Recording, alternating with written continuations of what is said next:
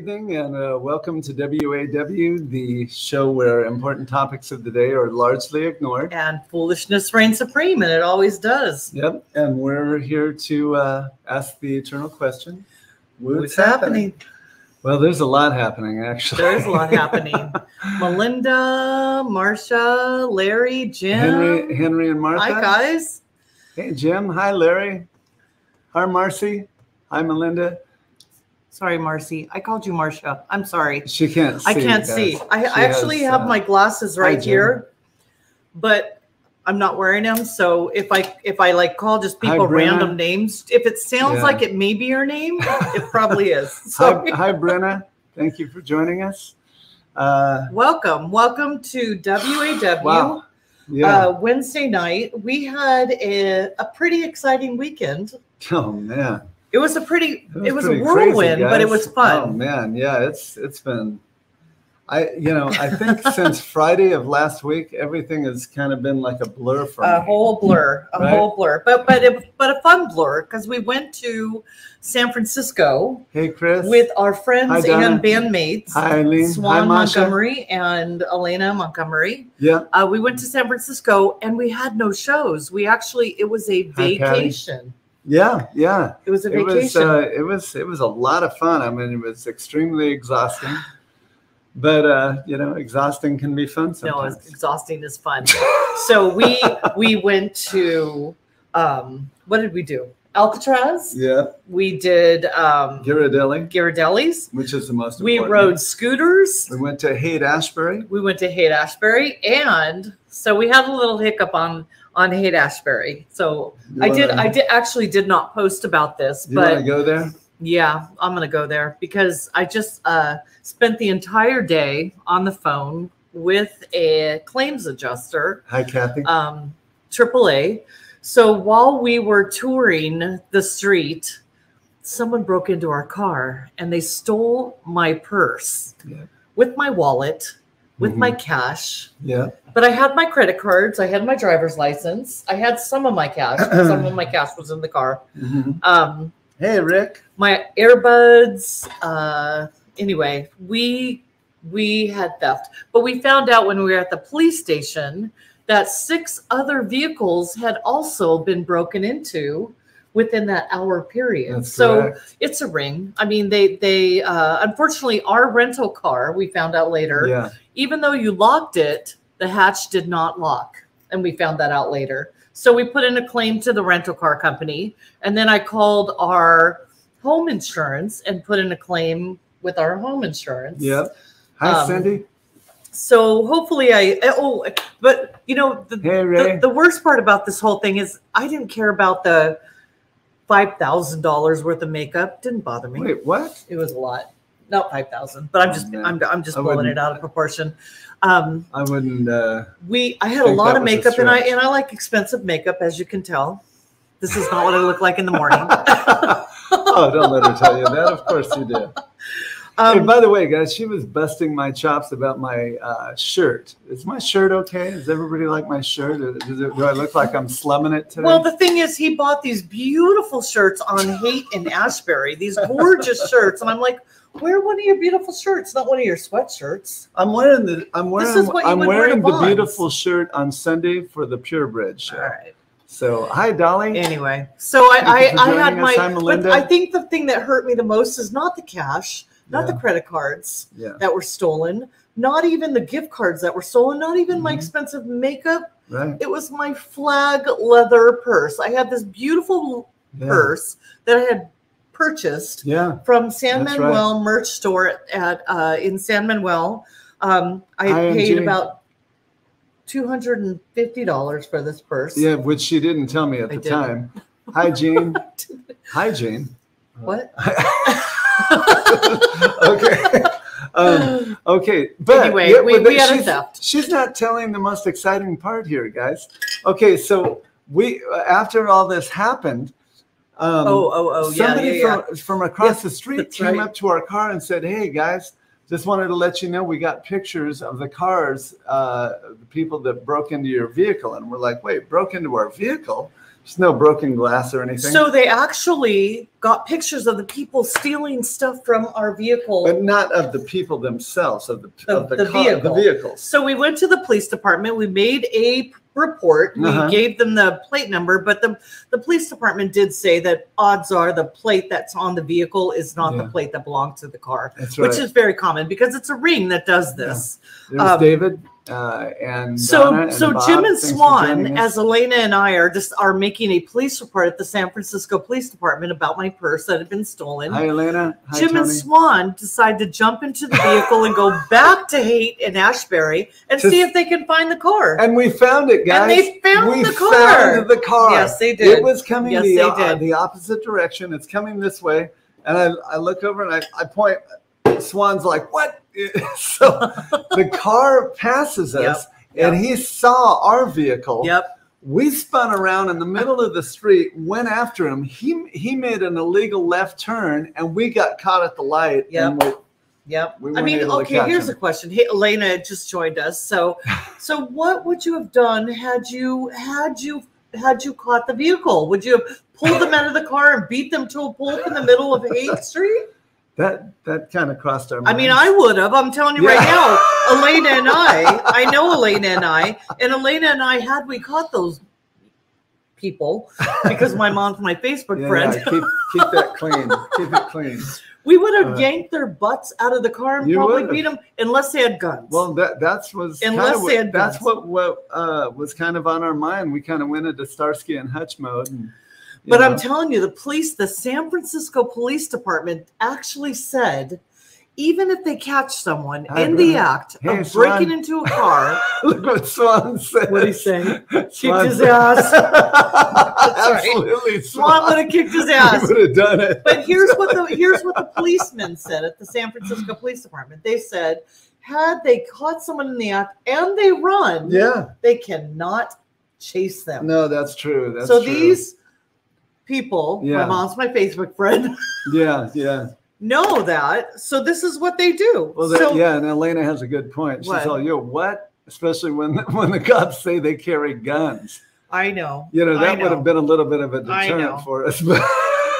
But But the funny part is Swan and Jim actually yeah. found these Oh man. people. It- it- my know. mom's What are the odds of that? That was hilarious. Anyway, Mm. so we made a claim. I was on the phone all day today making a claim with the rental company, the insurance company. Um, so hopefully, the only thing I cared about was my leather flag purse. That's the only thing I cared about. I didn't care about my money Is that what you care or my five thousand dollars worth of makeup. Uh, All right. Well, let's yeah. talk about. Uh, yes, yes. I know they do carry guns, Hey, and they Ginger probably Puppy just joined guns. us. Ginger Puppy just joined us. Who? Ginger Puppy. Who's Ginger Puppy? That's uh, Johnny Les dog. Oh, Hey, John. Johnny Lost Dog How has you a doing, Facebook brother? page. Apparently so. Wow. Okay. All right. Well, let's talk about uh, let's talk about our our stuff real fast because we're going to get to our. Oh, wait, Very we had a special comment. guest. We had a comment All right, there what's our that, guest- what's uh, at comment? the end there. Um, right. Eric says, Coach House, September 3rd, great show. Yeah. Bailey Up Tavern, September 25th, great show. Do I make it a hat trick with the Temecula show Saturday? Absolutely, Yeah, Eric. We're going to be do doing uh, Yes. this Saturday night at um, Old Town Temecula Community Theater. It's a two not. It's a two header. Well, yeah, Friday night is going to be the long run. Um, uh, Experience the Eagles, and that's Friday night, and I believe it may be sold out. You may want to check on that. Uh, I'm not sure the status of Led Zeppelin, but Led Zeppelin on Saturday is uh, going to be doing um, the entire "Song Remains the Same" album, uh, the whole soundtrack, and there's going to be visuals and really cool lighting and everything. It's going to and uh, low low uh, laying fog for no quarter, so it's going to be a great night. Hope you can all join us. Is the Uh, fog machine going to be working on no quarter? It is. Ooh, that's yeah, good. it's going to be great. That's exciting. And then on Sunday, uh, Sunday afternoon, um, we're going to be playing with Purebred, uh, a tribute to bread. Um, Ray Kokel and I, and uh, Dave Stretch, Yeah. Dan Avance, and Johnny Z's going to be sitting in with us. We're going to be playing at the Coffee Gallery in Altadena at 2 p.m. And then at 6 p.m., I'm gonna uh, just go grab a bite to eat in between, and then um, uh, we're gonna be playing with Taylor Made Tapestry, doing all the greatest hits James of Taylor, James Taylor and Carole King. which So is one of my very favorites. we hope James that you guys can join us. Yeah, you can call the Coffee Gallery backstage and, and make reservations. Uh, it only holds 50 people, so um, It's a small, it's a small Yeah. space, but it's very intimate and it's very nice. yeah, it's it's it's a Yeah. great afternoon and evening if you'd All like right, and uh, let's let's just hit my cups real fast. If you guys want a personalized cup, please. I, I have a website now, which is blondiecollection.com. Order today. My cutoff date for holiday orders is November fifteenth. So, unfortunately, I have to cut off at November fifteenth, so I can get your cups to you by December first for holiday orders. So be, be sure and order your cups by then. You have an entire month. And then we're going to talk about Calvin, our our friend Calvin, Calvin's Auto Works at 501 East Glen Oaks right. Boulevard. If you mention WAW, you get 10% off. It's a good deal. And we love Calvin because Calvin is the kind of mechanic that actually says, you don't need to fix this now, but in two months, you're going to need this to happen. yeah, you kind of So it gives makes us you time. aware of what what uh, needs to happen maintenance right. wise with your vehicle. It's the best mechanic ever because we, we spent 20 years pretty much being spanked yeah, oh, by yeah, every mechanic we've ever Absolutely, and uh, yeah. So if you want to, uh, if you want a good, honest mechanic, how, how often do you ever hear those two you don't hear words in the good, honest, and mechanic all in the same sentence. If they're good, they're usually not honest, and if they're honest, they're usually not good. Yeah. So Calvin's Calvin's Auto Repair at 501 East Glen Oaks Boulevard. He's amazing. He's Yeah. amazing. And um, uh, if you mention WAW, you will get 10% 10% off of your bill, which we forgot to do. Ah, we I didn't even that- indi- we didn't mention it the last time we would have actually our, in. that would have paid for our lunch. You know what I mean? That's right. You got to remind me next time. That's right. Okay. All right. Well, we have a very special Oh guest yeah, tonight. we got a great a, guest a for you tonight, longtime guys. friend of Jim. Yes. We were just Oh, man. talking about this. How long? Yes, I had no we're idea talking how long. like 40 years probably. I didn't know Yeah, you had known Ron for close to 40 years. I I thought you only had kind of met him with the Fab Four, but you knew him before the Fab well, Four. briefly. I mean, we we we met uh, briefly early on there, but um, uh, after I stopped playing for a while there, um, he actually recruited uh, Rolo, my good friend and, and High school um, high school mate. Yeah, uh, we graduated together and um, uh, they got the Fab Four started. So we're gonna Which we're gonna was- talk to them about that. I mean they just they just shot to the top. oh man, they they're shot still to at the top. I know. Still at the I know. top. They're amazing. They're amazing. so, what we're going to do is we're going to give you a little glimpse of the Fab Four, and then we're going to bring our good friend Ron on and uh, chat with him a bit. Yeah, we're gonna All find out how this all All got right, started. let's, let's let's taste a little bit of Fab Four. I need somebody help,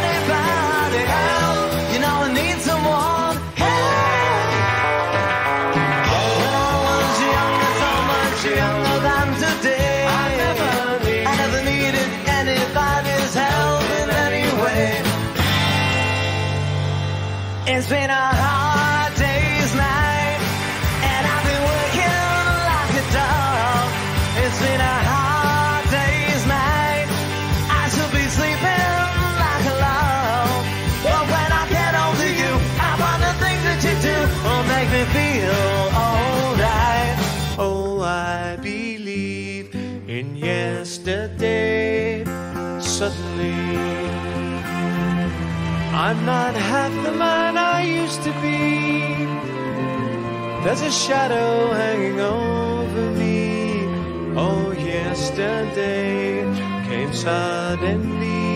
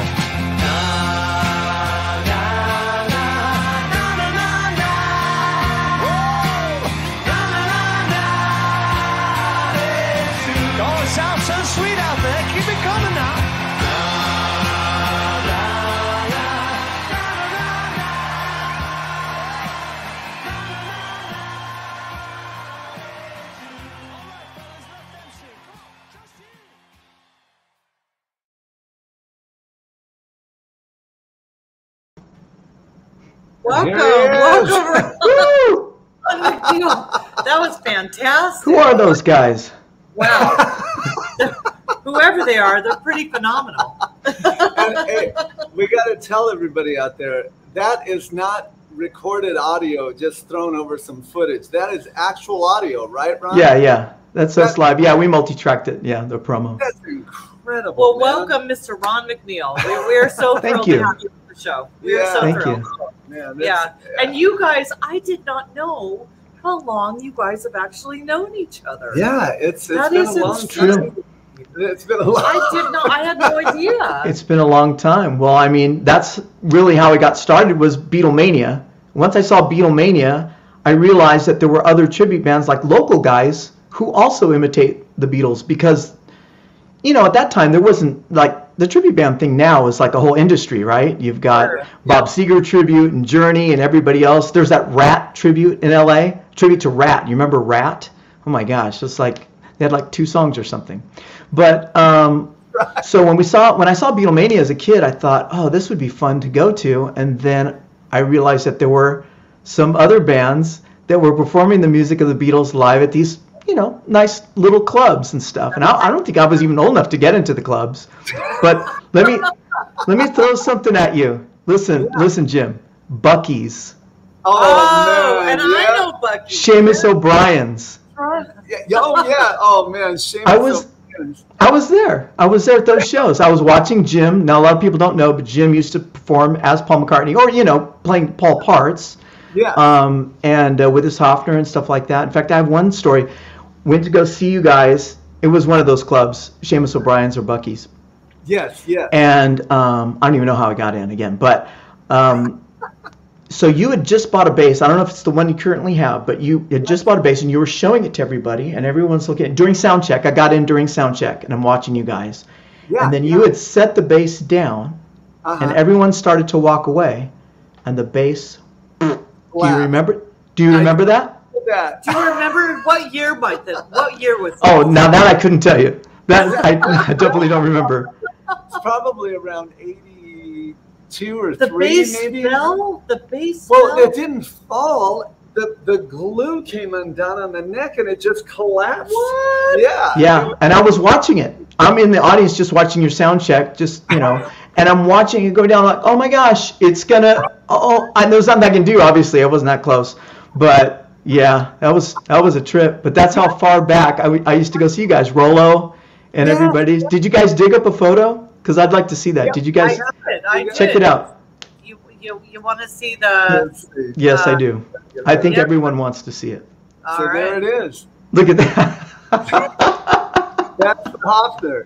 I, and I, which I still have to this day, and I still play from time to time. You do. No. Now, who are those guys, Jim? Tell me who's that's you on that's you on bass, Oh, right? yeah. Uh, go back to the other one. Uh, so, and then uh, of course Rolo is on the From the drums, from the top. and then top. um, uh, uh, Jonathan Lay is in Yep. the middle, who looked exactly like McCartney, but he didn't sing.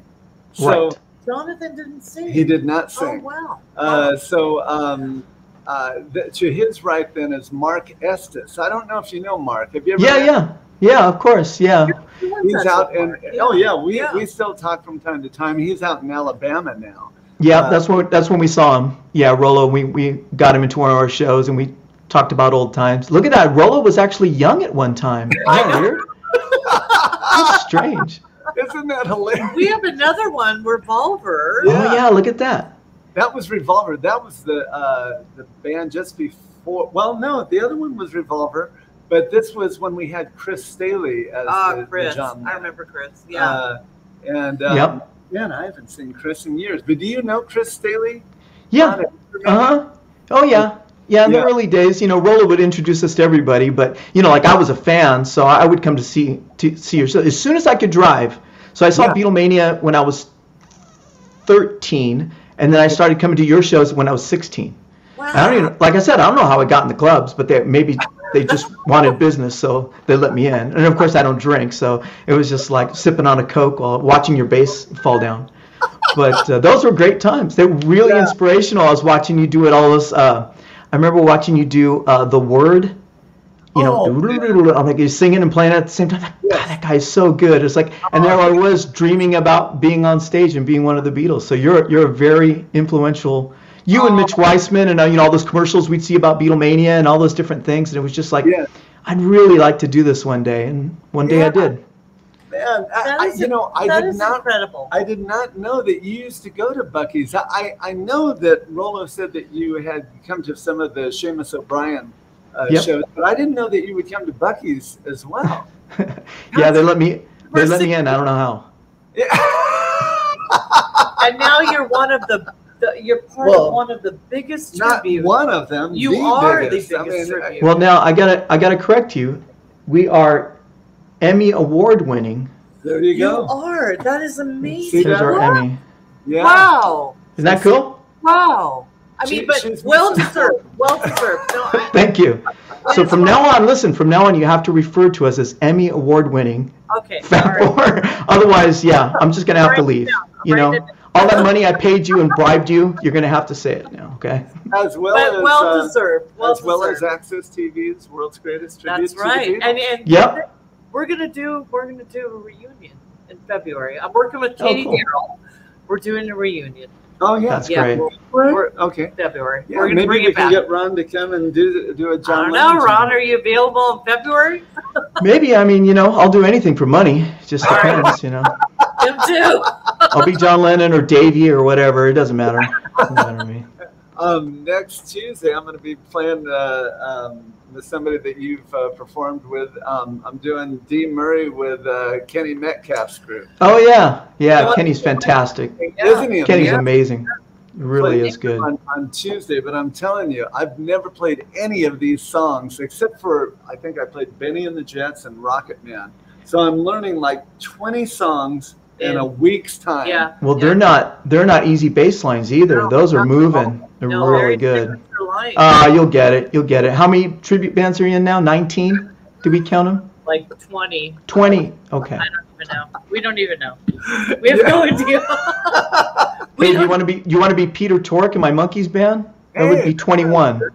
21 bands. Are you putting together a Monkees band? I don't know, maybe. Just I'm thinking about it. You know, I've always thought about it ever since I, you know, was watching the Beatles groups because the Monkees got me into music in general. So I always thought that would be fun. You know. Well, yeah, I saw a video that you made of uh, "You Just May Be the One," my favorite Yeah. Monkees tune. Oh. I Yeah. love that song. So Yeah, me yeah, too. that'd be great. You would be Mike. No, I don't. I don't know. It's something I've thought about a long time. The hardest part with the Monkees thing is the same thing with the Beatles thing. If you find, if you're in a Beatles thing and you find a McCartney who can sing and play, Yeah. you're, you're gold. In the Monkees, if you can find a Mickey, That's I mean, right. Mickey sings so high, That's and right. who, could, who can play drums like Hal Blaine. I mean, it's almost impossible. oh, So, call. There's a, a shout out to anybody who looks like Mickey or can play like Mickey. There you You go. know, then then you'd have a traditional band. But I'm thinking about just starting something. that Maybe just guys who play the music. You know, do a tribute to the music Oh, instead yeah. of dressing up. You know. No, the se- second week in a row, Sam Morrison said that was the band that got him into That's music. true. That's true. Oh yeah. Right. You know Sam uh, from uh, Turn the Page. Turn the Page. Bob I don't know him, but I saw I saw the interview. Yeah, that was that was really cool. Yeah, I mean, for you know, when you're a kid, Sergeant Pepper is too trippy for you, so you're you're listening to something that's a little a little tamer, the Monkees or Paul Revere and the Raiders or something that's you know not that heavy, and that's what got me started. You know. Wow, wow. Well, let's well let's dig in. Let's Oh, well, dig yeah, in. let's find out. Okay, Yeah, let's so, dig into Ron. Um, where, where were you born, Ron? Or, or were you from Se- Southern California? Yeah, yeah. I've always lived here. In fact, my uh, you'll see my driver's license or my birth certificate says born in Westminster, and my driver's license still says live in Westminster. So it doesn't look like I went anywhere in my life. But the truth is, I've been you know around the world or whatever. But uh, I actually grew up in uh, in the Inland Empire in Rialto, California.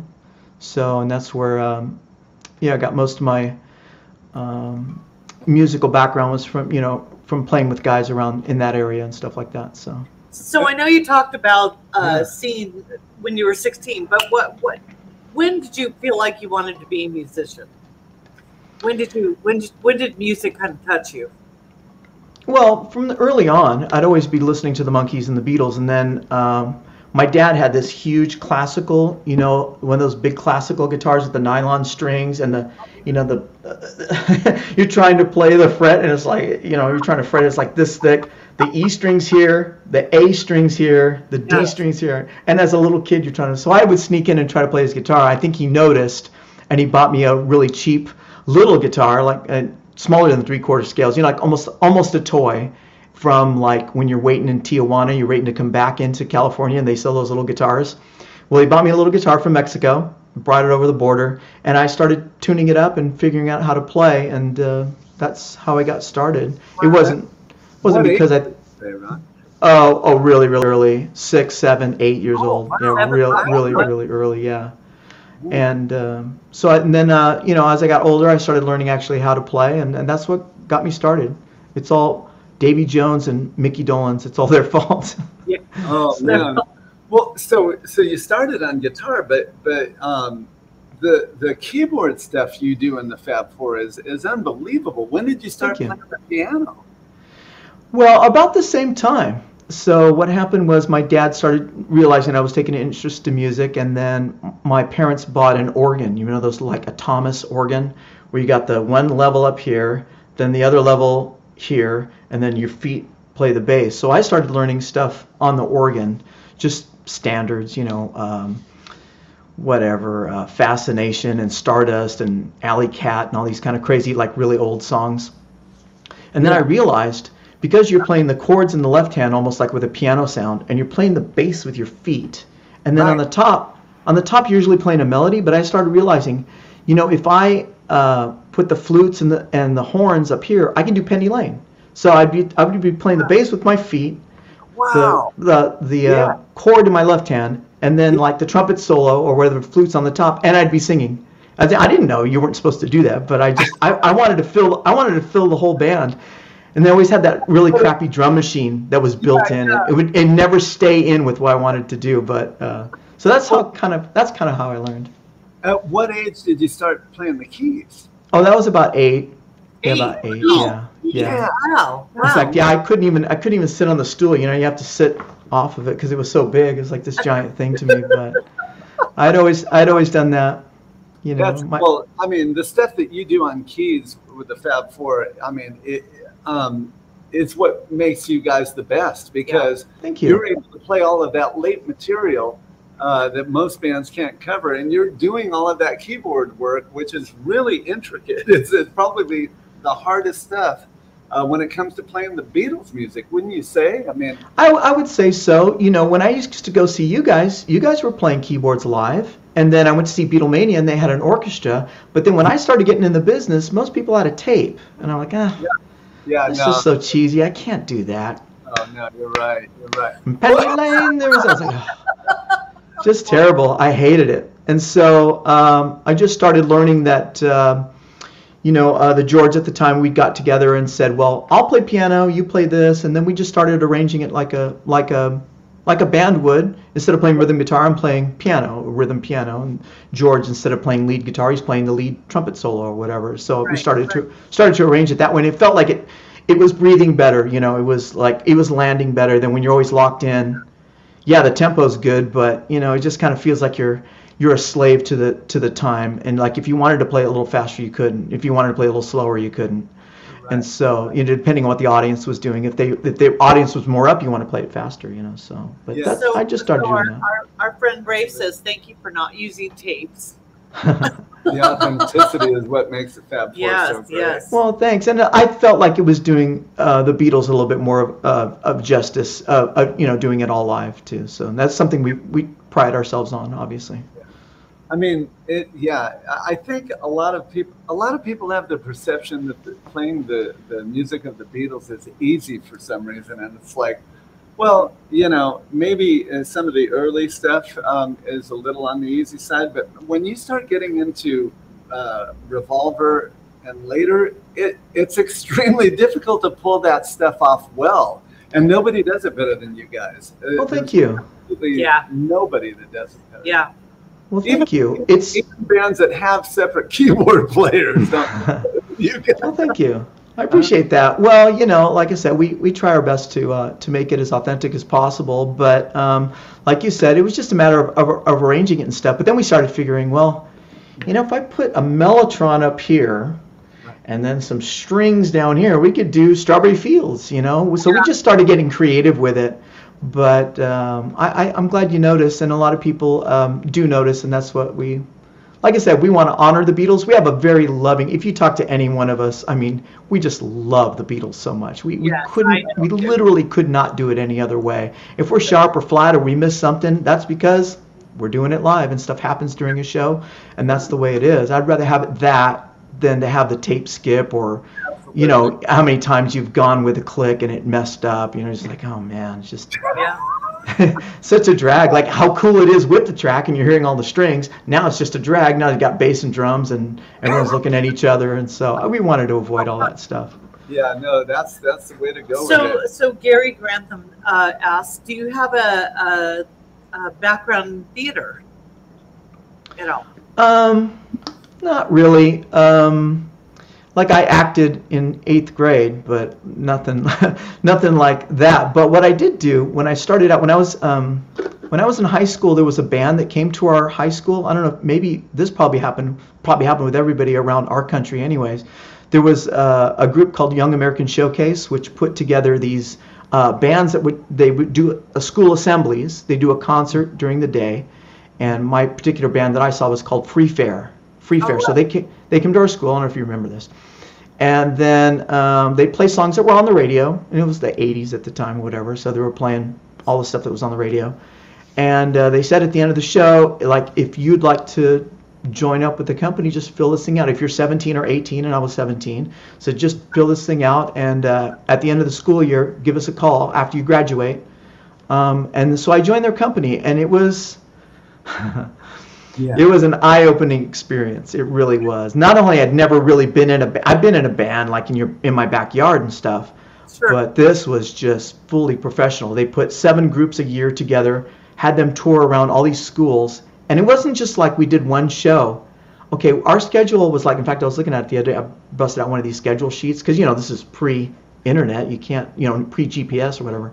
Sure. We would play on average. This is an average day. We do a show in the morning, eight o'clock in the morning. We show up to one school, set up. It would take us 20 minutes to set up. We'd have everything in the in the in the van, set up, sound check, do the 45 minute assembly for, for whatever, tear it all down, get back in the in the car. So let's say we were playing in oh I don't know, Se- Simi Valley or somewhere somewhere. Then we Right. drive we would drive to Orange County and do a one o'clock show at another school. Same thing. Set up, sound check, do the show, get out.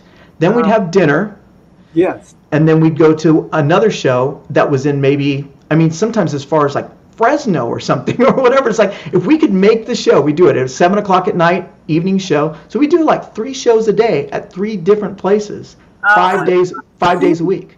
Yeah. So you know we'd be losing our voices and stuff. I believe that though. I believe when, that. Yeah. when did you start doing that, Ron? So that was about 83, 83, 84.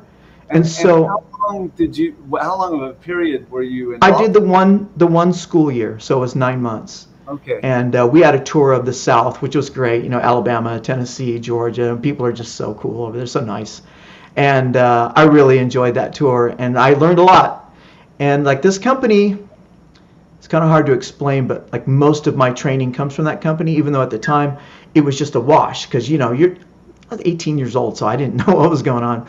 Yeah. So you just it's, you're just doing what they tell you to do. But then after a while, when I formed my own band, I realized, oh, that's why you open with that kind of song. That's why you don't open your show with twist and shout because you've blown your load. And as a kid, you don't think about that. But when you're writing a show, you go, well, the Beatles opened with twist and shout. It's like, yeah, but that's the Beatles. You're thinking you can't blow your load in the beginning of the show and expect people to stick around. That's so right. we started. I started implementing some of those ideas and stuff that I learned, but it's a whole. I can't. I don't even know where to start to tell you how how um, uh, how many concepts were involved. Everything from what happens when you show up to the city or that you're playing or the town that you're playing in. We'd, right. we'd be staying at these motels and they would make us make our beds. They would make us make it. We're a band. We've got long hair and all the whole thing, you know. And they, we would have to because the concept was if the maid comes in because she lives there, right? The maid lives in town. Sure, Yeah, yeah. She would, and she probably has kids that go to the school that you're playing. So you Yeah. want to say, hey, you know those guys? You know they're like long-haired weirdos or whatever. But did you know they made their beds? And like, like nobody makes your bed at a hotel. When we weren't even in hotels, we're in motels. So I think so. So con- little concepts like that that keep the positivity going. Everything to write, how to write a set, what to do when something uh, goes wrong, if the drum riser falls down, which it did during one of our shows, and like a whole bunch of different things. You lose electricity, you lose power, right? Stuff like that happens all the time, right? So uh, to um, to to what happens when you leave when you leave the town. So Yeah. and so it was really interesting, and so I tried to incorporate some of those concepts in, into the Fab Four, and it was uh, Yeah. it was eye opening. Well, uh, just this Well, as an interesting I side mean- note before we get uh, go all any right. further. Because I have a question I- too. I, I I've never made my bed in my entire life. You would have failed. They would have shipped you out. They would have shipped you out. You'd been gone. When Jim Wooten is on the road, I make the bed. If he's not on the road, he's in the bed. So I can't pick it. That's So I can't pick it. I feel you. I didn't say I make the bed now, but I did then. Otherwise, I get fired. You, you, you, you you remember when um, Brian Wilson decided he was going to spend an entire year in bed? Well, I've Oh, yeah. completely put him to shame. Oh no. Well, I'm, Right I'm famous for my sleeping too. I can sleep all Right day. here. um, Marcy has a quick question for you. Uh, what is your favorite color, snack, food, or drink? Oh, And drink. oh, oh. Wow. Uh, right. orange, orange, orange, and orange. Is that right? Is that- I'm just, I'm joking. Uh, uh, uh, favorite color is um, uh, used to be red. I don't know. I don't really have a favorite color. uh, A snack. I like. Uh, what do I like to snack on? Uh, I like peanuts, something like that. Peanuts. peanuts? Yeah. Yeah. And, oh wait, And- what was it? Uh, and um, let's see. Oh, and we Food. I like Mexican food, and uh, to drink, I like uh, Diet Dr Pepper, but I love Dr. Pepper. The the diet one is the great one. You got no sugar, and it tastes just as good. Does it? And I have that Dr Pepper Zero now, and that's really good too. But I've been trying to cut down on the sodas a little bit. It's just Oh, Man, I so bad, especially before you sing. You know how that goes. Yeah, forget it. So. We have another one here for you, uh, Ron. Um, you have a most memorable moment on stage with the Fab Four. Tell us about that. Well, I don't know if you know, but we've done all kinds of stuff in our history, and it's very difficult Oh, to pick yeah. something It out. It's a lot. We, uh, Question. we That's big- opened for the Who, the actual Who, at Yeah. Carnegie Hall yeah. years ago, I remember. and uh, we've you know we've been on television a bunch of other things. But for me personally, my favorite moment was uh, when we did uh, "Happy Christmas, War's Over." Uh, at the Grove, and we got um, the kids, and you know, like Artie's kids are in there, and and you know, Mike's kids are in there. So that was a lot of fun. That was like one of my favorite moments. oh, that's awesome. Um, let's see. Uh, So Melinda wants to know what is your favorite Beatles song to sing? Favorite. What, what's Ooh, your to sing. I guess twist and shout. You know. This funny thing about John is like he's had that real gritty thing, like twist and shout. Then you got to sing something soft, like a day in the life. Then you're Yeah. back to screaming again for you know revolution or whatever. It's uh, John had such a, a wide range. It's it's very difficult to uh, to do that. Fortunately, my range is actually higher than John's. I think Artie's is for Paul too. Yeah. So you know that on a on a bad day, you know you can still hit it because you're still within that range. So I think that gives me a little bit of an advantage. You know. I think you're right. I, I've, I've noticed that because, I mean, you guys, what, what do your shows normally run 90 to 90 minutes to two hours? Is Artie writing the set list? It's about two hours. Is that, is that right? But yeah, but uh, they're supposed to be that. Yeah. But for But- you to sing multiple nights, you know, Yeah. doing the most challenging vocal tunes, uh, I mean, you're right. Your your um, your voice probably has to be higher than the original uh, singers because um, yeah, i- but if you're having a bad day, you won't be able to do a lot. but of I was just going to say that's very taxing on your voices. I mean, I, Oh yeah, and it's one of the reasons why. I mean, I'm glad we're not doing like some of those Broadway runs like some of the other guys are doing. I mean, six to eight shows a week. I, there's no way. You have to have at least three casts at that point to do it. And we do have enough guys to do that, but it's just like, you know, do we really want to be spending that much time away or or or singing that much like you said no none of us are you know we're not as young as we used to be too so it's not as far as that goes it's still very difficult to to hit those notes every night Absolutely. So I ask everybody uh, that we, we've interviewed because they all have been singers. Has this ever happened to you, Ron? Have you ever woke up and said, "I've got laryngitis. I can't do the show"? can't do today"? it. Can't do it. Has What, that what do you many do? times What do you do? oh yeah well Happened? the good thing about the Beatles is just more Paul songs, more George songs, and more Ringo songs, you know, Yeah, which yeah, can help. But if you're like, if you're Springsteen or you know, or uh, you know, uh, anybody that's a solo thing, that, that you're you're pretty much you're screwed at that point. But Yeah. we I we I remember one Disney. Disneyland like New Year's Eve or something, and the only sang, songs I sang were "Strawberry" and uh, and "Imagine." Uh, Like the only ones I could squeak out. Everything Oh, else I couldn't get anything out. And somebody goes, "Hey, what happened to a, a hard day's night?" I'm like, Not doing it. Yeah. Uh, "Yeah." so you've never actually had to just say, "I can't do the show because I'm Just about Subs- two or three that I can say, yeah. But then we just we just adjust the show. But there's been times when I've been very very sick, and and you just you know you just go through it. Show must go on. Whoever said that, I want to kill that guy right about now. But yeah. but it's like um, you know you just you just do what you got to do. But I have a little bit you know getting a little bit older and and learning a little bit more about how to keep your voice and those kinds of things are always right. that helps a little bit. Where when you're young, you just start singing, you don't care Oh, about it. A lot of Yeah. cinnamon, a lot of honey, a lot of ginger. yeah, Yep. yeah, got that whole concoction going. I found that keeping your voice uh, moist on stage, which is lucky because John John chewed gum.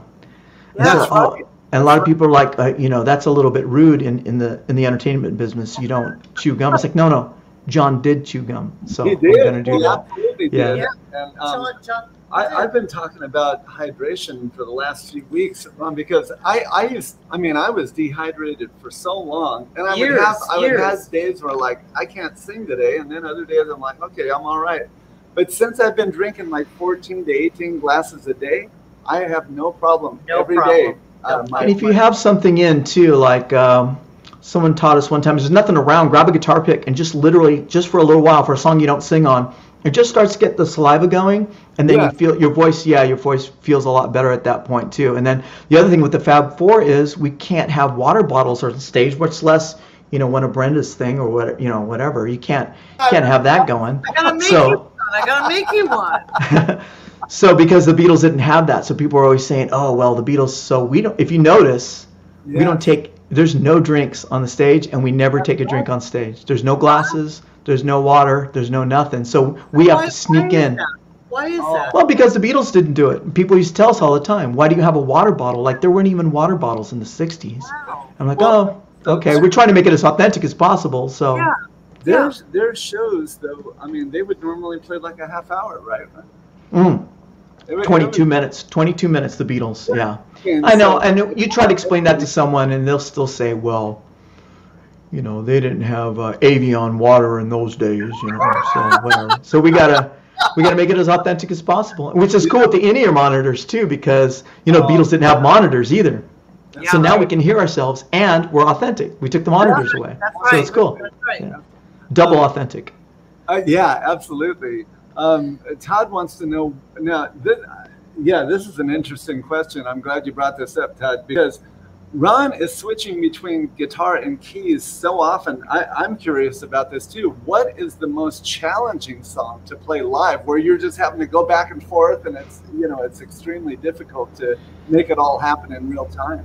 Well, as you know, everything after 66, everything revolver on is going to be difficult because there's always some kind of, you know, horns or strings or something like that that you have to end up playing. But I think it's difficult also for the different guys in the band. If you have something like uh, and your bird can sing, obviously George has to play both parts. Oh, yeah. And if you have something like, um, you know, Oh Darling or something, and Artie's got to go nuts, or, or Lovely Rita, like he was talking about on your on your program. Um, Oh, is yeah, difficult yeah. to play and sing at the same time. For me, something like a day in the life, or just trying to get it right, when you have so many, so many sounds and stuff, trying to cover all that as a four piece Yes. is difficult. So that's why I would say like a day in the life, or something like Strawberry Fields or Penny Lane, or those ones that involve. When I'm 64 is another one.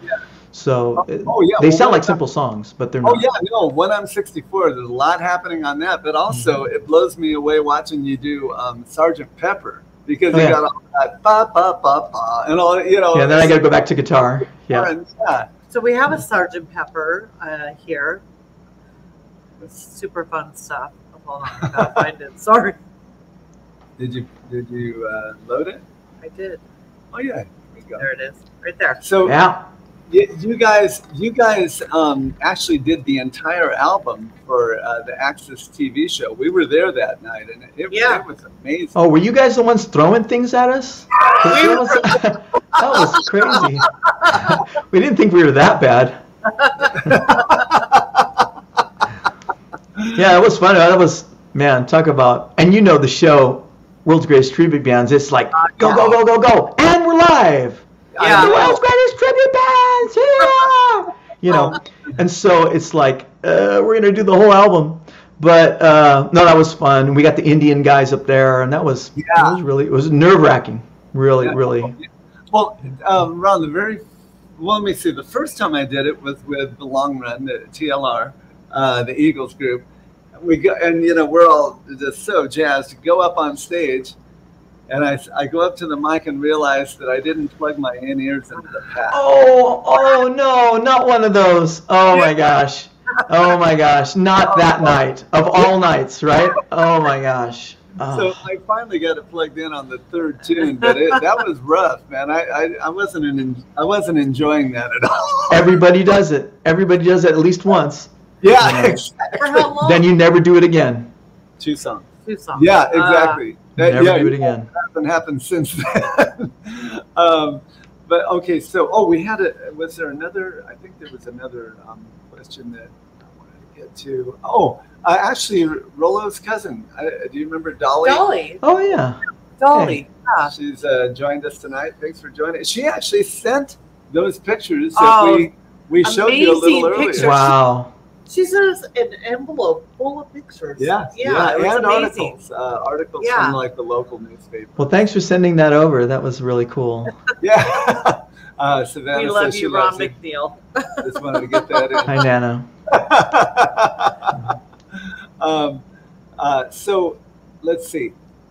Oh, um, Gig had something to say here. You, you know Gig, right from the long run? Yep. Early, early training and shoe ethics. Shoe ethics. All right, I like it. I don't even know what that is. I'm Um, not sure either. I'm not wearing shoes. I can't I'm not wearing shoes either. oh man, uh, let's see here. Let's see. Sal had uh, something in here. Um, uh, let's see. Sal Sal wants to know why I break his camera every time. Yeah, right. That's what he wants to know. so Gomez. Oh, okay. Uh, Christina says, uh, Ron, if you had to choose one guitar to play all the Beatles tunes on, which would it be and why?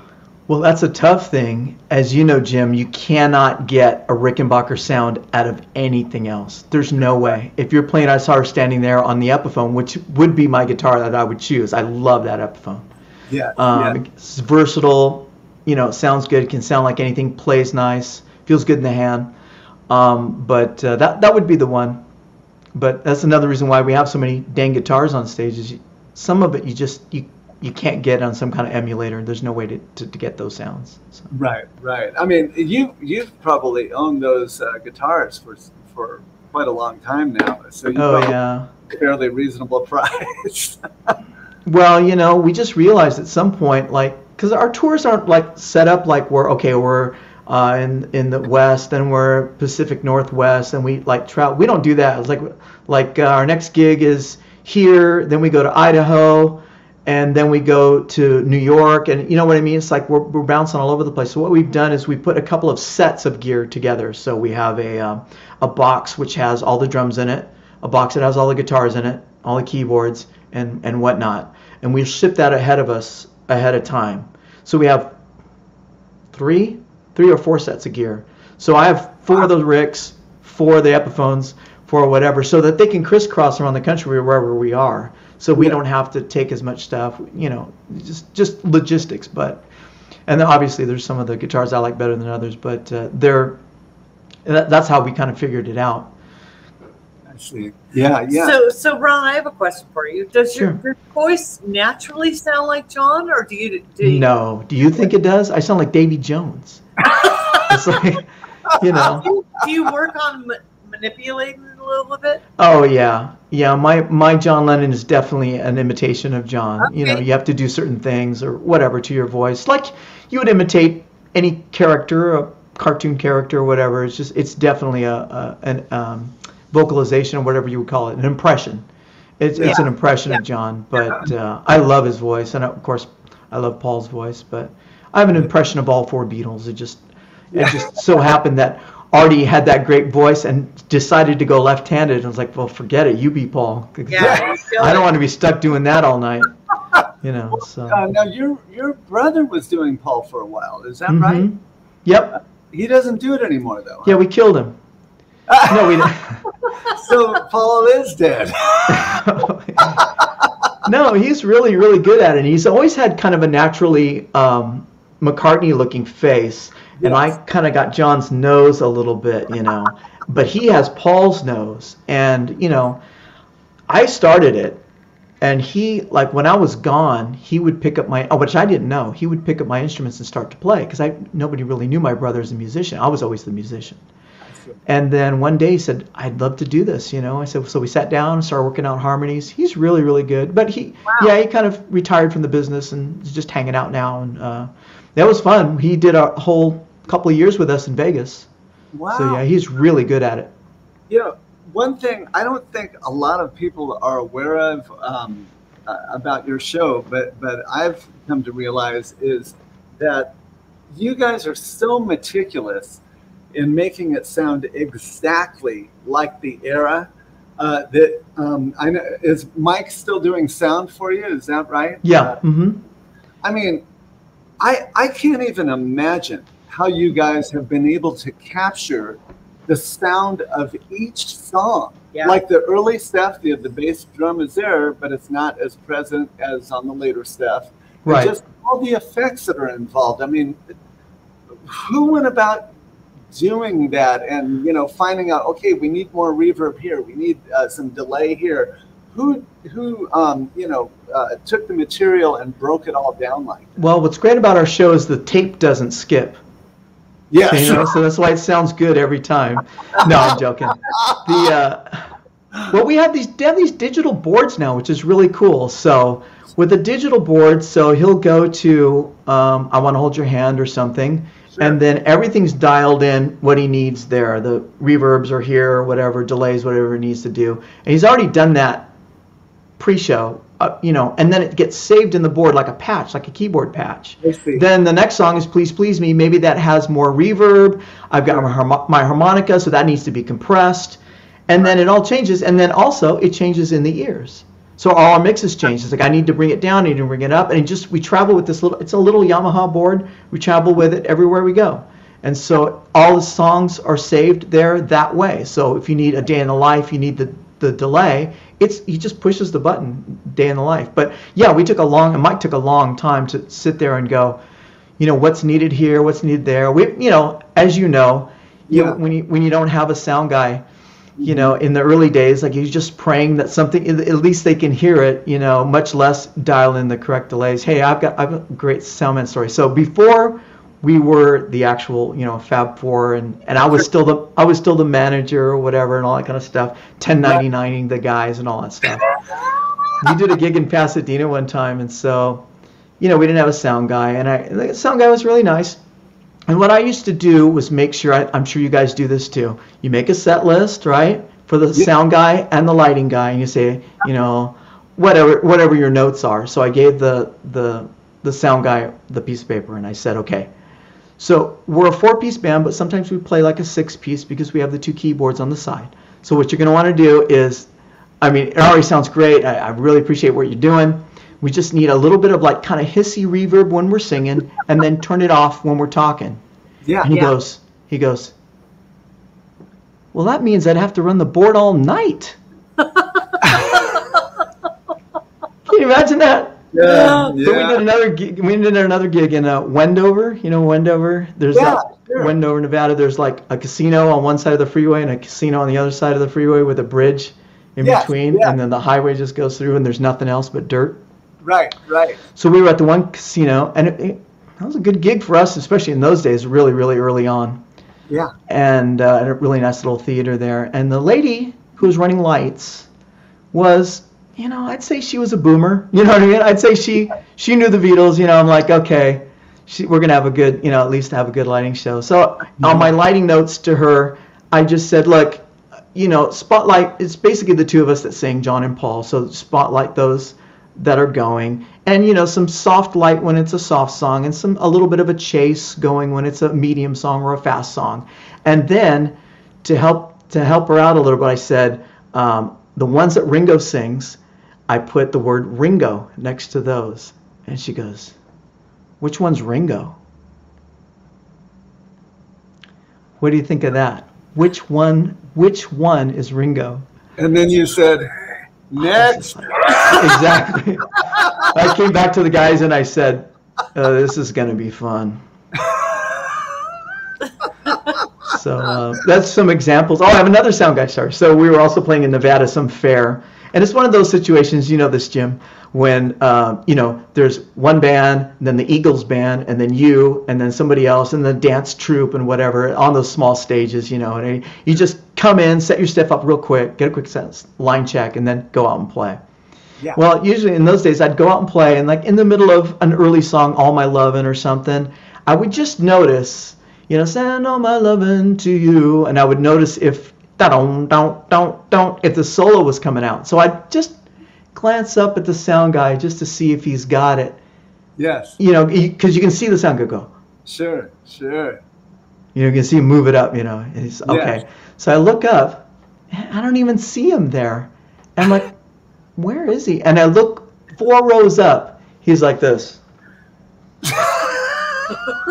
he was asleep. He was asleep. Oh man. Oh man, I went ballistic. I went nuts. I'm like, you're sleeping during our show? You can't just move a few faders around?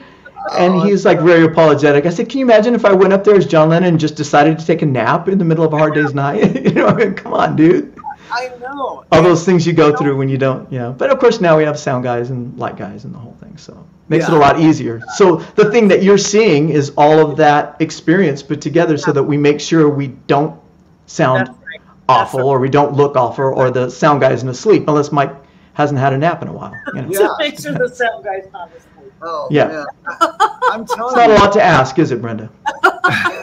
Well, well, uh, Ron, what, one thing that we've really um, uh, got in our favor with Led Zeppelin is that when we go uh, to another country to play, uh, you know, there's you, you think there's a lot of inept sound people in in, in the United States. we'll Oh. go to another country, and these people are just this side of brain dead. And uh, I'm literally like, uh, Swan will go out front, listen to the band, and it Swan just runs the it just sounds like Yeah, a train yeah, wreck. yeah. But Swan is an excellent sound man. In Oh fact, yeah, run sound for you guys. yeah. He used to run sound for us at uh, at Scruffy's. Yeah. Walk out to the front Yep. with the mic. Well, well, yeah. Well, Yeah. and he he'll um he'll actually say, hey, you know, um, uh, would you mind if I, you know, just did a few adjustments on here? And they let him do it, and then they're like, oh wow, Yeah. you know, who's this guy? You know, and and Yeah, well, there's the language barrier too. You know, no one yeah, can speak the language. It's, it can be it can be difficult. Well, so we try to take you know our crew with us as much as we can. Yeah. Sure, sure. Um, oh, okay. So uh, Yvonne wants to know um, when you're on tour, do you bring your families with you? And uh, did you ever Sure. meet Paul Paula or Ringo. Ringo? Well, two separate questions. Uh, you know, local shows. You know, you'll see our families there, um, but not they don't travel that much unless it's something exciting, Australia or Japan or something. Sometimes somebody, one of the wives or somebody will say, "Hey, I want to go." It's like, of course, yeah, no problem. As long as you run sound and don't fall asleep at the board, it's good. but uh, and then uh, no, I've never met Paul Ringo. I met Pete Best. He was really cool. He was really, really nice. Yeah, uh, Wow. real early, real early in my career. It was really nice. I didn't know what to ask him because I'm sure everybody asked him all the questions. So I asked him. I noticed on the Decca tapes Yes. that George sang a lot of songs. Like George has a, a complete third, if not more songs than John, if you notice, on the Decca Oh. tapes. And so I asked him, I said, did George really sing that much? And he said, you know, well, you know, the boys, you know, whatever. I can't do his accent. He yes, was very yeah. quiet. And he said, no, that all three used to be lead singers. That was Paul would sing a third, George would sing a third, and, and John would sing a third of the songs. And I thought it was really interesting. Yeah, that is. That is. Wow. Um, Wow. Uh, Ray says w- when he first heard the Fab Four at Disneyland, he came to the conclusion that their sound man was a genius and, And maybe most- the most important member of the band. Don't say that. Then we're going to have to pay the sound guy more. Not good. It's funny. We've been through a bunch of different sound guys and a bunch of different things, but you know, mainly it's Artie and I getting on each other's case about sounding. I think I think the key to the Beatles is the vocals. That that really is the key. Yes. Like, because any good, you, not anybody, but if you pick up a Rickenbacker, and I remember the first time I plugged my Rickenbacker into an actual Vox, because for most of my career I used, uh, early part of the career I used a Fender, because I only had a Fender amp. I didn't have any money to buy a Vox amp for crying out loud. I remember the first time I plugged it into a Vox amp, and I thought, there it is. It was like, whoa. yeah. I- it just it was the sound but Yeah. it's like um, you know anybody can if, if you have a rick and you have a vox and you learn the part you can get really close but it's the vocals that really count. I think that's what sets people apart. I mean when i met artie that's why we i, was so uh, excited to play with artie. I was just like oh my god this guy sounds exactly like paul mccartney. And then he says oh i'm gonna we're gonna make it the ultimate tribute. I'm gonna go left-handed. I said knock yourself out dude. But he did it. He did it. He did. Oh man, it, that I remember when that happened. Then I'm thinking, uh, that's commitment. that's, Yeah. that's, that's real. It commitment. is difficult. Then he started driving backwards and you know brushing his teeth with his left hand and everything. It's cool. Yeah. well, um, man, we had a bunch of que- questions lined up, but everybody's brought so many questions. So in. many We questions. well so so right maybe to maybe Ron, you could go through how, the- how it all the happened. how all 500 questions. Oh that, yeah, yeah. Oh. Make sure to look through them all after after you're done on the thread. There's a Ron. lot. There's a lot. There's But- a lot that we wanted to address and But- a lot that we missed. But but So, yeah, but no, I want to find out what year did the band start? Yeah. Who put it together, and how did you go about finding the players for each position? Yeah. What- what Well, we've already gone over time, right? How long is the broadcast? No, no, we, No, we're good. We can go as long as we, we want. have no time limit. well, basically, I saw Artie and I mean uh, Rolo and I saw Artie at Beatlefest with his band Glass Onion, and he was just a little kid with this giant bass guitar, um, and he sang "Coming Up" by Paul McCartney, and it was just I, I just it was almost like some weird trick. It's like how's this kid sounding exactly like Paul McCartney?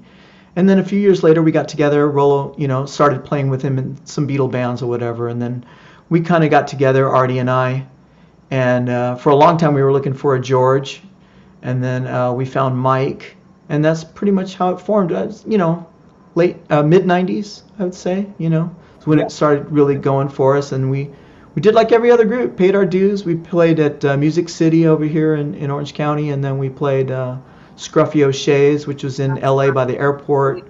And like you would, you know, when we first started playing, there was nobody there, and then by the time we left, you couldn't get in. You know, Swan running sound for us, and it, Yeah, it was it was it was an event. We'd had celebrities coming in, and Mickey Dolenz came up and sang with us a couple times at Scruffy's, and I was there and- that night. I were was you? I Oh, was, wow. Wow. that was so much fun. I That was remember so cool. going to the restroom, uh, um, standing at the urinal and looking over and going, "That's Mickey Dolenz right next to me." Was he singing? He Was he singing? Was it peeing next to you? He was actually, and I'm thinking, okay, I'm thinking something special is going to happen tonight, and sure enough, he came out and sang with you guys, That's and I thought, oh, this is this That's is cool. amazing, yeah, it was a thrill. It was a thrill for me. man, that is amazing. But uh, so, uh, Rolo started playing with Artie and some other bands, and then they hooked up with you. Is that right? I mean, Yeah, uh, that's kind of how it worked. Yeah, Uh, Artie and Rolo were, were, you know, a team, you know, bass and drums. And uh, yeah, for the longest time, we looked for a George. We had, uh, you know, David Brighton was our George for a while. sure. Yeah. And then uh, Yeah. we had Jimmy Poe coming in and out. It was just like anybody who could put on a George suit just to Sure. just to try to get the thing going. And then, uh, you know, finally we landed on Mike. And then we uh, opened the show in Vegas, and we needed a whole second cast. So I was hearing about this guy Gavin and how good he was. He was living in Chicago at the time, yeah. and I uh, I called him up and I said, hey, uh, would you want to come down to do this? Because he was kind of, I think he was thinking about just going home because some of the work had dried up in in uh, in Chicago. yes. He yes. says, uh, "Well, mates, I'll come out and see it, and if it's you know if it's any good, I'll stick around. But you know, really, I just want to go home. Just want to go home, see me mum. You know." I was like, Oh. "All right, well, just check it out." And he he never left. So we moved Mike over to sound, and we've been together ever since. Well, it's funny because when, I was in high school, um, the first group I was in, uh, Rolo was the drummer, and um, you know, then we. What happened? The reason we got into doing Beatles was we were playing in a like a. Well, it, it wasn't classic rock then; it was just rock. Right, top forty. Yeah. Yeah. The band was called Obsession, and we, we were doing, you know, we had a great lead singer. The guy was able to do Zeppelin, Journey, Kansas, you know, all of those extremely high uh, vocal tunes. And we were doing that, and he moved away. So we're looking at each other going, we don't know anybody else that can sing this stuff. Yeah. What should we do? And then we, we came to the conclusion, well, what about the Beatles? We can sing that stuff, you know, and, and so we, we started doing it. And um, uh, Rolo actually did not like Ringo or the Beatles at that time. Did he ever tell you that? Wow, no. I mean, I know he's a big Zeppelin fan. He, Wow. he didn't. He didn't like it. He, he's like, yeah, I'm not in, really into doing this. And and so um, uh, one night we were at a, a somebody's house uh, at a party, and this guy had a great sound system, and he put on the Abbey Road album. And Rolo listened to the drums on that, and he's all, "This is awesome!" and so he got into it at that point, and and I knew uh, once I stopped playing, I got married, stopped playing in bands for like eight years. But I knew that Rolo would hook up with with somebody good because he was such a great drummer. Drummer. And Oh, yeah. he was he was a great singer, and I thought, oh man, he's going to go far in this. And before you know it, he's playing with you guys, and I'm thinking, oh man, the- perfect situation for him. Yeah. you know. Yeah. Oh yeah, Rolo's amazing. He really is. I hope he's not watching. But uh, he, he really is great. I mean, Rolo can play anything, and you know he's always trying to figure out. Well, there's a tambourine and a shaker on that song, so if I put the tambourine here and the shaker, you know, in my shirt, I know. I can I can play it all at the same time. And he's just he's always willing to you know try other things, which is great about Rolo. But he's very versatile, very funky. Like Yeah. If he starts playing a beat, people just start dancing right away. You know, he's a really really excellent drummer, and he's been hired to do all kinds of studio stuff. He played on uh, uh, one of Brian Wilson's albums, and he played on Mickey Dolenz' album and stuff like that. He's just Right. yeah. So it's it's been a pleasure. Yeah, He's yeah. fired. I'm gonna fire him. Well, now, I, as far as like your involvement in the playing live for a while there, you stepped out of the picture. Uh, Don't remind me. Don't remind me. It's the best year and a half of my life. is that right? No, I mean it was cool. I mean, you know, I've been doing it 25 years, and it's Yeah. like, you know, at some point, I did, the idea was to find somebody who could take my spot, and we met Adam from the Bootleg Beatles over there in England, Yes. and just started talking with him and said, you know, is it possible for you to come over here and and and and join the group? And the minute he said yes, man, I mean, I mean, he's a he's freaking amazing, he looks like John, he sounds like John. He has all these new keyboard stuff, which is I was like a pioneer when I came out, but that's like in the '90s, you know what I mean? And yeah. Adam has all this new stuff that really he can layer all these different sounds and stuff like that, and he's just been a and on top of being just being a great guy and all that stuff too. So that was a great, great year and a half. I didn't have to wake up at any time, put my feet up on the desk, you know. You know what I'm saying, bud? Just whatever, you know, booking the group. I didn't even book the group. I just, you know, But you probably needed you needed a break. You needed a break. I did. Yeah. And, I did. and Yeah. now, now that you've had that time off, uh, are, are you going to stay in, in live performance for, for a while here, or what is your plan? going? Well, you know, I'd like to stay in as long as uh, as long as I'm needed. I mean, Yeah. I don't want somebody to say, "Hey, Ron, you know, time to time to hang it up." And I, I'd rather I'd rather go on my own terms. That's why I was so excited when when Adam did come in because you know nobody's getting any younger, and you know you know what it is. It's not about the music. Traveling is the is the problem. You know, I think Mickey oh. Dolenz says that. He says we get paid to travel. So we we sing for free yeah, you know it really right. is yeah all the aches and pains and all that stuff but we're, we're always looking you know we're always looking for people to come in and that's what's great about us the fab four most people don't want to start a band on their own they want to join the fab four and right. we're more than willing there's some 20 year olds out there that want to do it you know give me a call I'd, I'd love to have you on it's just uh, you know we always we're always looking for young talent and that's how we get some people in, in our group to uh, to cover what we're doing so that we can continue to do this i don't know if you know but you know rolo and i and, and the other guys were all business partners as well Absolutely, yeah. so, and, yeah. and you kind of uh, went into like more of an administrative or, or um, maybe like production role. Uh, so yeah i count paper clips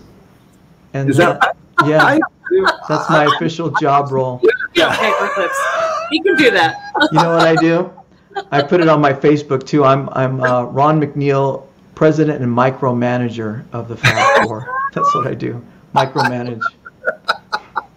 That's great. Are you the, the stickler in the group, the guy that says, "Hey guys, we, no, we got to tighten To tighten be here up"? at this time. Uh, or, or everybody's no, I mean musically. Oh, Are you the guy that musically, you know, uh, keeps things in shape? Or We do have some set rules in the band. One is show up on time.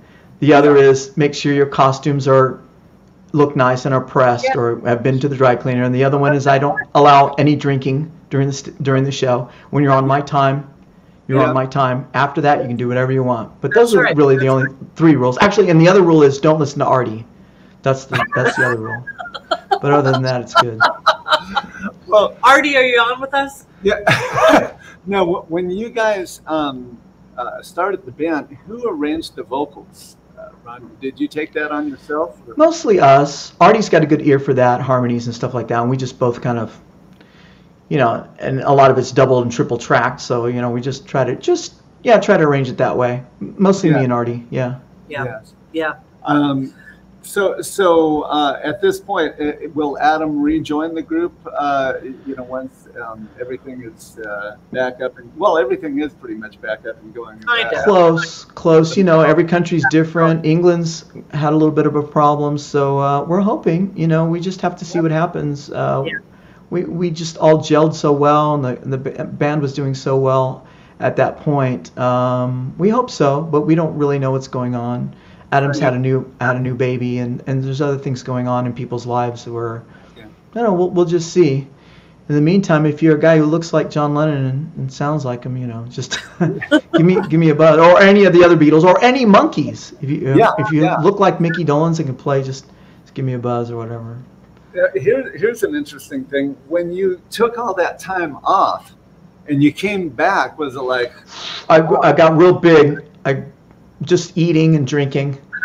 Anyway, go ahead. I think I think Yeah. I think everybody Well, did that. I mean, from a playing perspective, though, were you like, man, how did I used to play that? did, did it get to that point, or were you like, oh no, this is so much? Uh, It's only a year and a half, Jim. It's not like, you know, like retired for 40 years or whatever.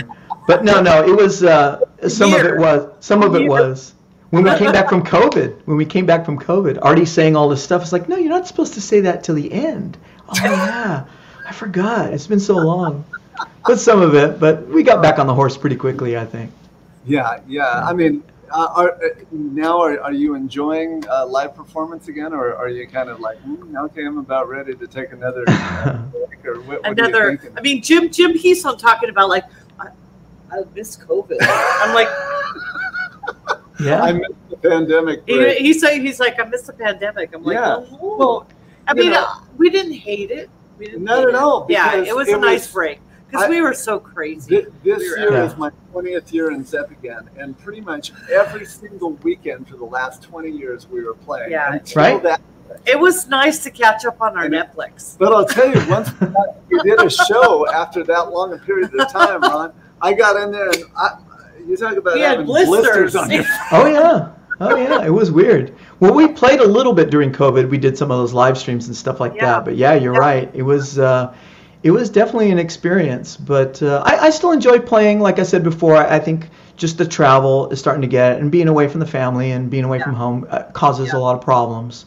But um, I, I, you know, when the music hits, you know how it is. Just you start going into that mode when you were a kid, just listening to it, and you're experiencing it just as much as as as the audience is. You're you're appreciating it. And I look over and I see Gavin, and he looks like George and Artie up there screaming his lungs out. It's it's cool for me. It's a cool experience for me to do, do that and watch kids of all ages singing right along with you all the songs that you grew up with, and you realize these kids weren't even born in the 70s or 80s, much less in the 60s. And it's just it's great to see that. Well, and also it's got to be so cool, like you said, to look around on stage, uh, the crowd's going absolutely berserk, and to realize I'm playing with absolutely the best band doing what we're doing in the entire world. Band.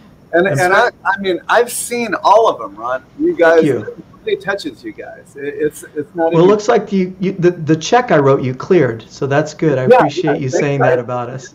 Emmy award winning. Emmy award no. By the no, way, You're going to the Bahamas next. Bahamas. Oh, good, good. Thanks. I'm glad you're doing something good with the money. No, but you know, and not only not only playing with guys that you know that are really good, like you said, but also watching the audience. Uh, that's one of my favorite things. You know, and after a while, you know, we pretty much do the same show everywhere we go. We throw in, we try to throw in different things for people requests or try to change it up for our own sanity but you can't do a show with the Beatles without She Loves You and Twist and Shout and A Hard Day's Night. And then it's like, well, let's do Spoil the Party. It's like, okay, I know it, but what are you taking out? Because you can't sit there for three hours. That you know, we got another show to do the next day. So do you take out She Loves You? You take out A Hard Day's Night? You take out Yesterday to do Spoil the Party? I don't think so. So it, it Yeah. the set list is always pretty much the same. And a, a little while there towards the end of when I was doing it, maybe 2018 or so, it was starting to get to me a little bit, starting to get to my brain a little bit. Yeah. And I was really happy to find Adam. But one of the things I do, I don't know if if you do this at all or, or if other people have told you this, but one of the things I like to do, I get about half made up, get the sideburns on, and do the whole thing. And about a half an hour or 20 minutes before the show starts, I'll go and I'll peek out the curtain and I'll look at the audience, and there's people, you know, putting their kids up on stage and taking pictures with the guitars and all that kind of stuff. And I realize these people have never seen a Beatles tribute. They've never seen, much less seen us, and they're like hearing that music live for the first time. They're going to be blown away, and so that's part of um, my motivation. I go and look and realize that part of our job is to make. I use this every once in a while, but part of our job is to make people happy. While your life maybe isn't so happy, you have to pretend like it is and go out there and, and, and, and really take those people away from their problems. That's that's our job, and that's we take it seriously.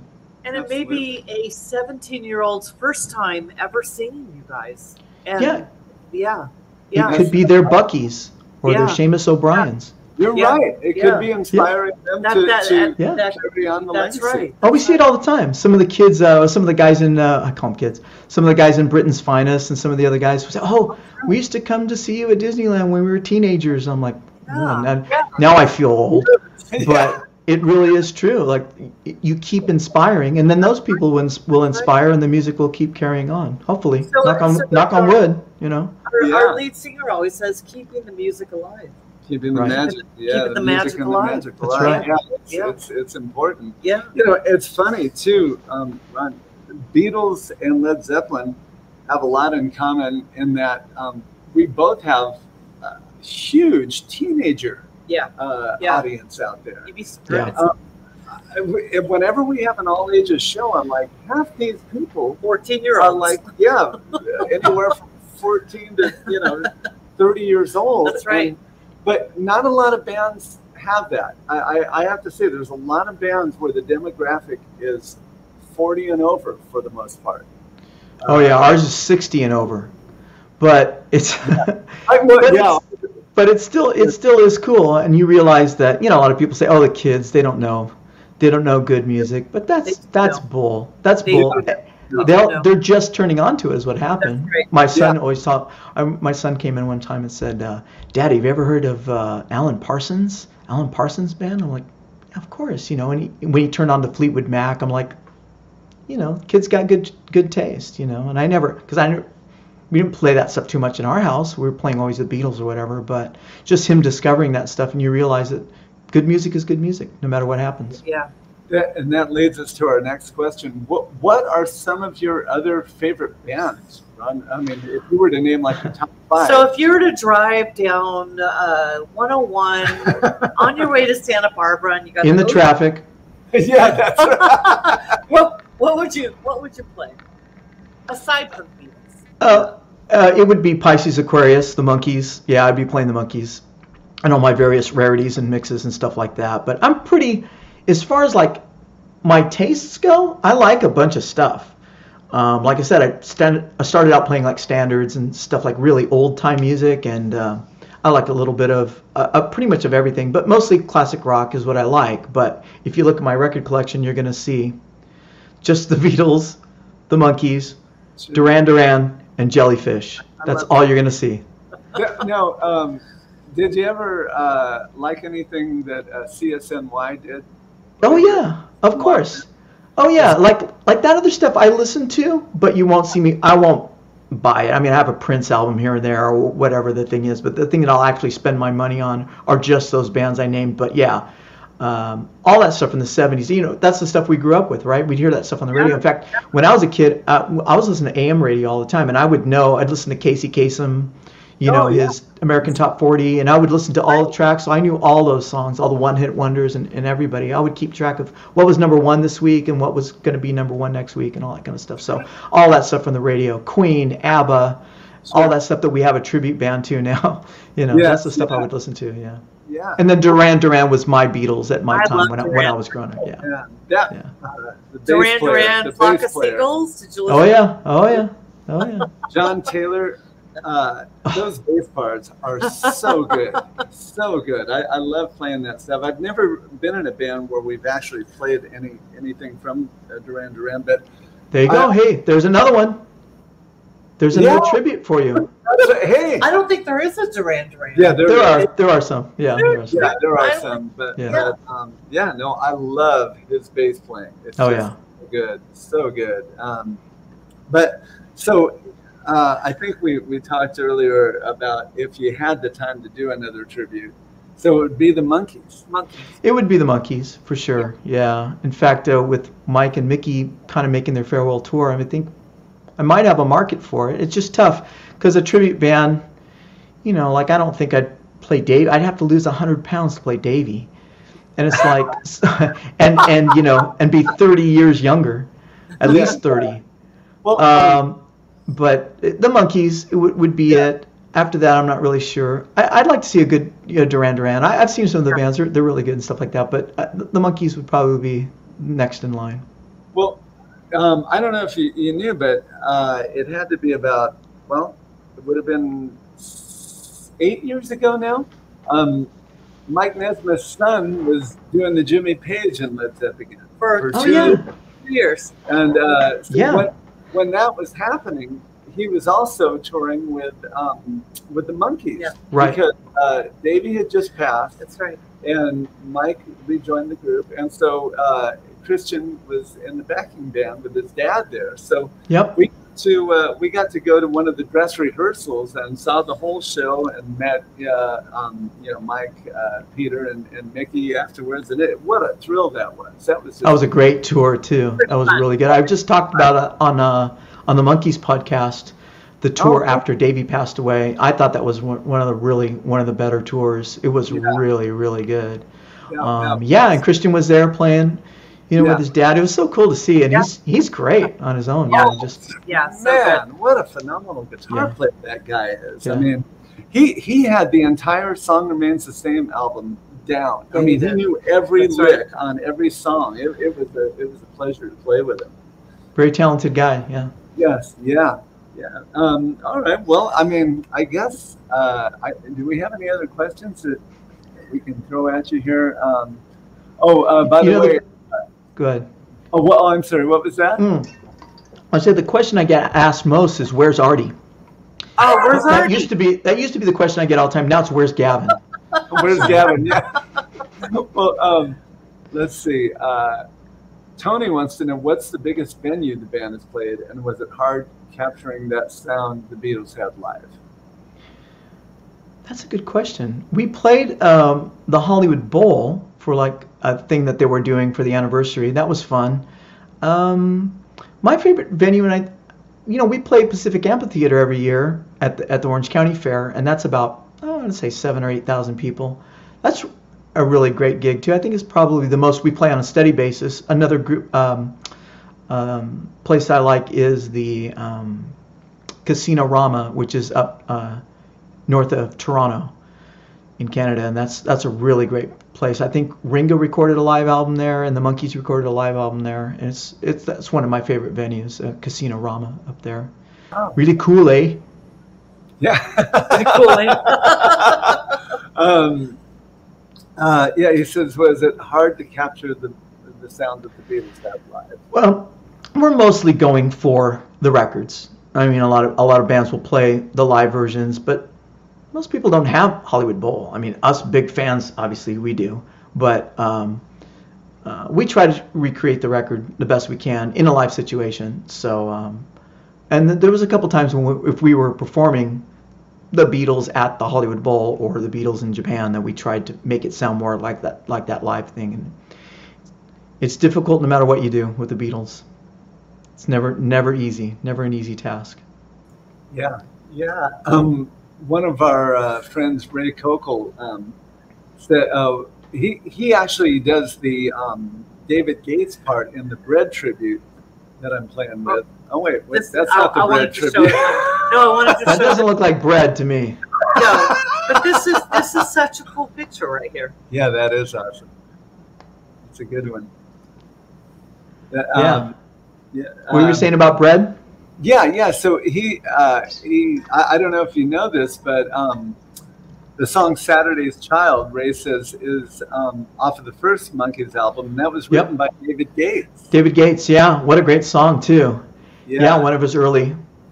You know, in the in those days, everyone's trying to get a Monkees record. Every songwriter's trying to get it because they know it's going to sell millions of copies to 12-year-old girls. But whatever, it doesn't make any difference. They get their song out there. That's why the Monkees music is so great. I mean, yeah, you had Lennon McCartney, but you had all these other people writing for the for the Monkees, uh, Carole King and Neil Diamond, and all Yeah. these other great great songwriters. And then they're being played by studio musicians and sung by the Monkees. No wonder it was great. Yeah, that was Yeah. that was a, a David Gates song. Yeah, Saturday's Child, a great song. Um, somebody said, "Did any of the Beatles ever come to see you or react to your Oh, work?" see her, see her work. Yeah. You know, um, I don't know. Uh, there was a rumor at one show we did Paul McCartney's birthday at the House of Blues in L.A. when it, you know, Yeah, and uh, one year, and somebody said, "Oh yeah, that you know he either pulled up or was going to go or something like that." But that that's as far as we know as far as our actual live shows. And we just heard recently that somebody interviewed Ringo and asked him about us, and he says, "I can't go. It's going to be too accurate." you know, or something like that. I Is don't, that what I he don't, I don't know if he said anything. Oh, I got a great story for you, uh, Ron. Um, at Yeah. the Cooking Club in Agora. Uh, you know how they always run the ads for the shows that are coming up. Um, Yep. Well, do you remember Herman, the sound man? Oh yeah, yeah. Okay, so uh, he's sitting at the bar, and um, McCartney went to see uh, what's the guy's name? Uh, Blinded Me with Science. Uh, Oh, Oh, Thomas Dolby. Thomas yes, Dolby. He went Wow. In to see Thomas Dolby there. Oh my gosh.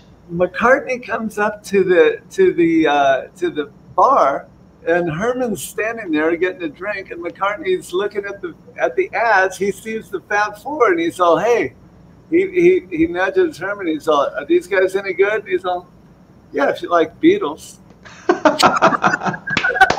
oh, that's great. That's classic. Oh Had my you gosh. ever heard that? I hadn't heard that story. That's so cool. Yeah, I'm sure.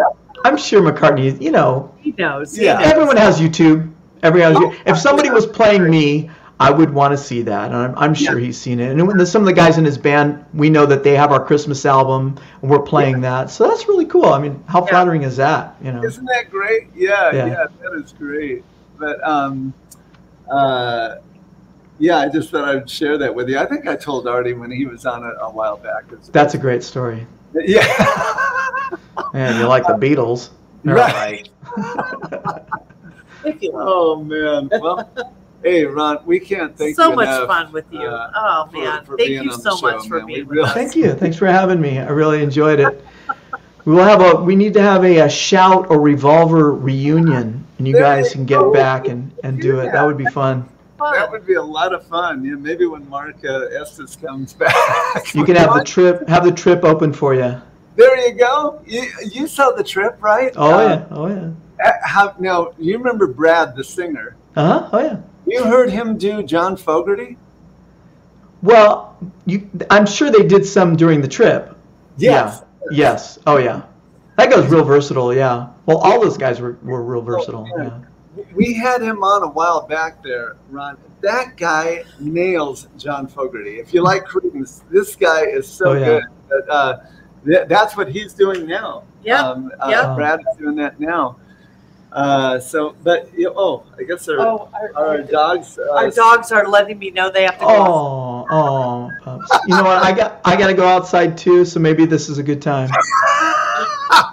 All right, Ron. Well, thank you so much for joining us, man. We really Oh, appreciate it. we had such it. a good night with you. And Thank you Thank so you, guys. gotta have all of you guys on. Uh, uh, well, maybe we'll have Rolo, Gavin, you, and, and Artie on. That would, That be would not be a good thing. You won't be able to get a word in edgewise. Believe me. Not the way those guys talk. No way. all right. Well, thank you so much, and uh, yeah, hope we're gonna have you on again. I mean, Yeah. this this was really interesting. Sure. We appreciate you spending the Maybe you last. ask me some of the questions that you had planned. It's- You know, that would be cool. Exactly. We didn't even get to that. We didn't even get. Oh, wait. Now, uh, Melinda has one last question. Is John Lennon your favorite Beatle? Oh, Oh, that's- this is gonna be a this is gonna be a big secret. No, he's not. Paul Paul Paul was always my favorite Beatle, oh, and wow. and John is Artie's favorite Beatle. So it's nice to be kind of like, hey, you're imitating my hero. You're imitating my hero. Well, you better do it right. You better do it right. So I think that's what keeps us on our toes. Yes, awesome. absolutely. Oh man, well that's a great question to end it on. well, thank you so much once again, Ron. We appreciate it, and uh, Thank you. we'll see you at a soon uh, a show soon. yeah, yeah. For sure. Thank you, Ron. So, Have a so great good night. to see you. And Bye-bye. uh, look over all those questions. I'm sure Yeah. there's some we missed. I'll write I write him in like an essay, like homework. I'll send them to you. You can grade me. right. Okay, Ron. Take thanks. care. Have a great night. Okay, All right, guys. that was fun. Yes, that was it was super a lot fun. of fun. That was Super really talented informative. guy, Oh, I'm he's you he's right now. phenomenal. Are you kidding? He's Uh, amazing. unbelievable Yeah, singer and and. I love the fact that you've known him for so long, and he saw you when you when he was a yeah, teenager. Yeah, that's that's That was I blows did my not mind, know that. I did not know that. Yeah. So so interesting. So interesting. anyway, thank you All right. guys so much for joining us. Yeah. Uh, next week, do to, we uh, do we want to give a little glimpse Oh of? Uh, yes, next week. Yeah, next week. Roger Kane from the Pat Benatar Experience is going to be joining us. Yeah. That's always going to Be a good time when you're uh, sitting there with Roger trading stories about him and growing up with Superman, right? Superman. Yeah. Kane. So Roger Kane, who is Roger Kane uh, from yeah. yeah, the Pat Benatar experience. Yep. Yep. Okay, guys. Well, thanks. Uh, remember TLR Friday night Temecula and Led Zeppelin TLR, Saturday night. Yeah, Led Yep. Zeppelin Saturday night in Temecula. If you're not in Temecula and you're in the South Bay, go and see um, TLR at the Gas Lamp in Long Beach. And if you're up in Santa Rosa, Well, no, we haven't got the Okay, purebred on Sunday at 2 p.m. in the afternoon at the Coffee Gallery, Yep. followed by Tailor Made Tapestry, Carla Buffa and Stephen Bach as James Taylor and Carole King. oh Jim, you're It's in like be a great. million bands. Yeah, it's going to be, oh, it's going to be fun. All right. Uh, it's going to be a lot of fun. And then next Tuesday in Santa Rosa, we're going to be playing With with, Kenny Kenny Metcalf. Metcalf. Yeah, yeah. It's going to be a blast. And doing a little wineries while we're at it. You're doing playing. wineries. I'll be doing I don't have to wineries about. with the Metcalf clan. Yes. It's going to be fun. All right, all right, okay, you guys. guys. Thank you thank so much for joining us. God we had such you. a good time. Uh, keep on Thank you, rocking in the free world. Ron Yes, from thanks to Ron. McNeil We appreciate it. We'll see uh, you with Roger Kane next week. Next Wednesday night. All right. Have a great night, guys. Bye, guys.